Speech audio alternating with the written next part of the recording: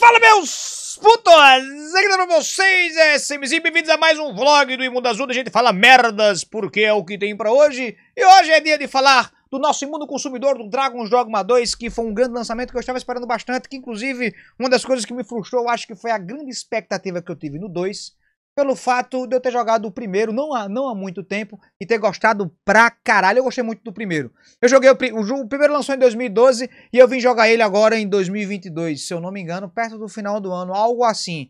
E achei maravilhoso. Um jogo de 2012, logicamente que tem os seus problemas, mas a gente joga com a cabeça de 2012 e acaba ignorando. Inclusive, mods conseguem ajustar certos problemas que a gente corria na época, que infelizmente não tem para console. Para quem tá com console, ó, tomasse no cu.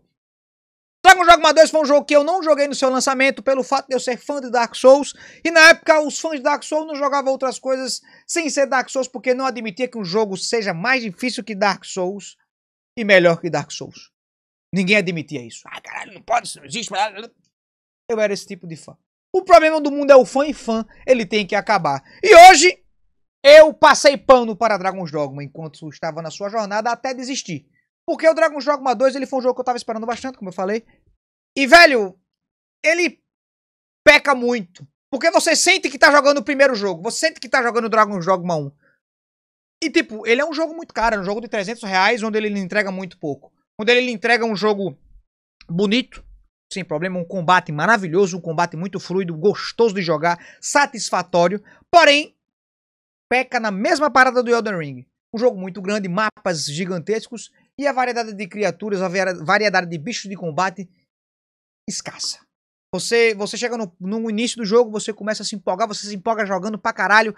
Ele bebe demais das mesmas mecânicas do primeiro, nada além disso. Nada além do novo. O que você viu no primeiro, você vai ver no segundo, só que muito mais simples. Você não sente desafio. Você vê um troll, você sobe, bate na cabeça, tá ganhando. Você vê a medusa, sobe, bate na cabeça, tá ganhando. E assim sucessivamente. Dragões são um pouco mais complicados de matar, mas o segredo é basicamente o mesmo. Então chega no ponto que você começa a enfrentar os bichos novamente, você já sabe como é que você vai ter que lidar e nenhum tipo de e nenhum tipo de, de dificuldade, de desafio. É sempre a mesma coisa. E chega a ser maçante. O jogo começa, é, é, até certo ponto, quando você já começa a entender como é que funciona a, a, a fauna do jogo, você já começa a sentir tristeza.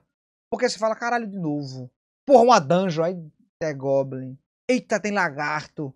Caralho, aí hum, uns baús vai podre. Eu não curti a questão de, de criação de item, porque não tem, né? queria ter, eu queria ter pelo menos curtido. Pelo menos até onde eu joguei, eu cheguei na, na última missão, se eu não me engano. É, não vi criação de item. É, você só tem, compra os itens no ferreiro, ou acha a porra do, do, item no meio do mapa e vai upar o item, normal.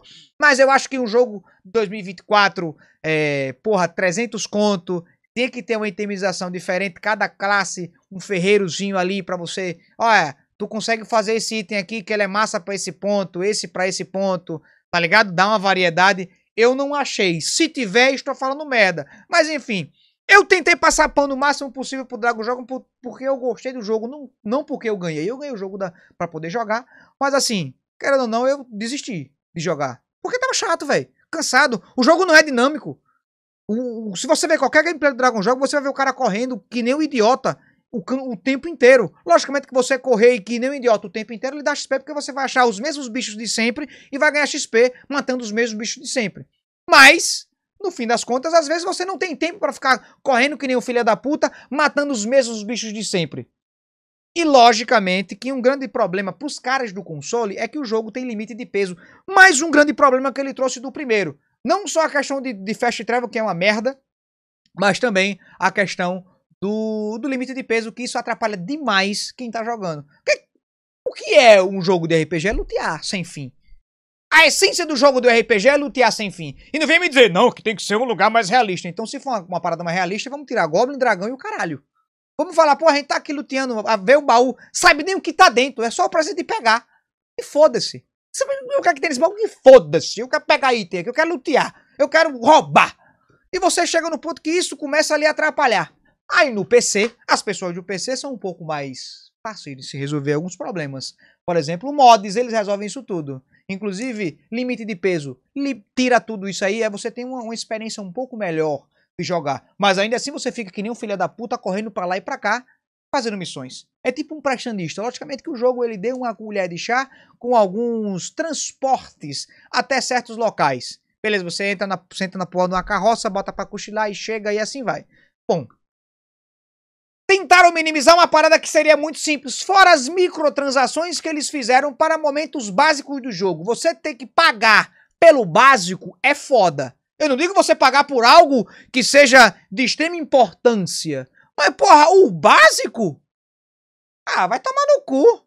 Sei lá, velho. Tem umas paradas de waypoint que você só pode limitar 10 no mapa inteiro. Bicho, e aí? O jogo é grande pra caralho, tu anda que nem um filho da puta.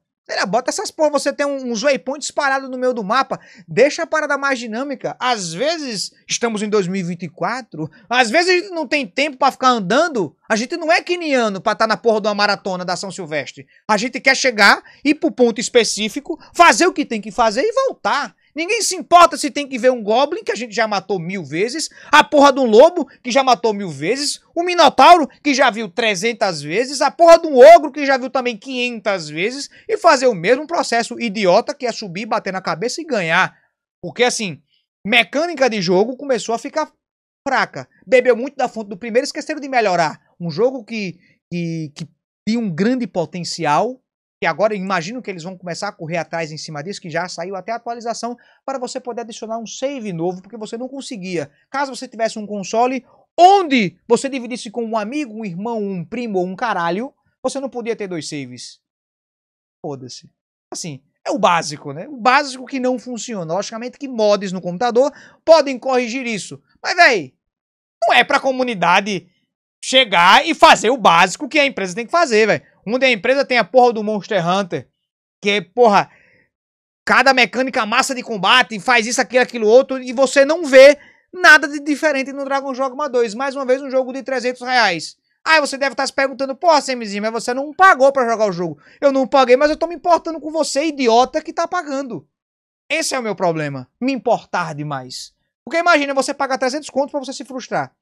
Bebe da mesma fonte do Elden Ring. Elden Ring, pra mim, foi um jogo maravilhoso até a metade. Até a metade do jogo eu tava vidrado, alucinado.